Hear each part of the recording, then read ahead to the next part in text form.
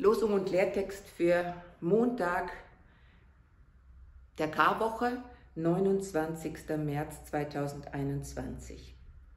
Beim Propheten Zacharia im letzten Kapitel, Kapitel 14, Vers 9 heißt es, der Herr wird König sein über alle Lande. An, jedem, an jenem Tag wird der Herr der Einzige sein und sein Name der Einzige. Es ist ein Ausblick, den Zacharia hier tut in die Zukunft, in die noch ferne Zukunft. Er redet von einer Schlacht, wo es noch einmal richtig zur Sache geht, wo selbst Gott eben mitstreitet. Das hat mich innerlich sehr ähm, irritiert.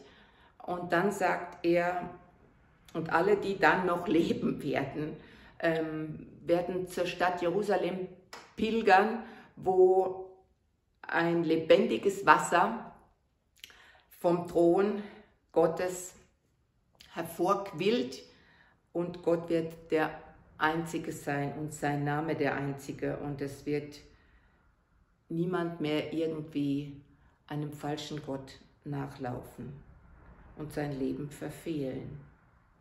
Im Buch der Offenbarung auf der vorletzten Seite unserer Bibel im Kapitel 22 Vers 3 und 4 heißt es, seine Knechte werden ihm dienen und sein Angesicht sehen, und sein Name wird an ihren Stirnen sein.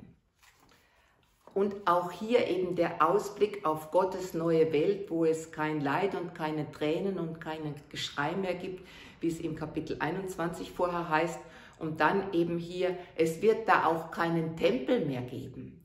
Gott wird ihr Tempel sein und eine Sonne wird es auch nicht geben, sondern Gott wird leuchten wie die Sonne und es wird Tag und Nacht hell sein und nichts Finsteres und nichts Dunkles, keine komischen Machenschaften wird es da mehr geben. Und Gott wird eben von Angesicht zu Angesicht gesehen werden. Das ist ja das, worum einige Propheten gebeten haben und wo wir auch immer wieder sagen, es wäre doch gut, mal ganz genau zu wissen, was hat Gott im Sinn, darf ich in sein Gesicht schauen, kann ich seine Pläne anschauen. Was wird sein am Ende? Darauf versuchen Zacharia und ähm, Johannes, der Schreiber der Offenbarung, eine Antwort zu geben aus ihrer Zeit. Was wird sein bei uns am Ende? Wir bedenken in dieser Woche die letzte Lebenswoche Jesu, wo er eben eingezogen ist nach Jerusalem und da am Karfreitag zu Tode gebracht wird. Also dieses Leiden und Sterben Jesu und dann eben aber auch am Ostermorgen die Auferstehung. Was wird sein am Ende? Was wird sein am Ende der Pandemie? Da träumen wir auch noch alle davon und wir wissen, dass es auch dieses Jahr noch nicht ganz geschafft sein wird und das ist sehr ernüchternd. Ich habe das jetzt heute in der Zeitung gelesen, wo der Papst sagt, äh, letztes Ostern, wo er zum ersten Mal also alleine, mehr oder minder alleine gefeiert hat, sagt er, letztes Jahr waren wir erschrocken und heuer sind wir erschöpft von diesem ganzen Jahr, das auf unseren Schultern liegt und in unseren Knochen spürbar ist. Und trotzdem, Glauben heißt immer wieder neue Hoffnung haben, sich anstecken lassen von Gottes Liebe, sich von seiner Liebe positiv anstecken lassen und das dann auch weitergeben.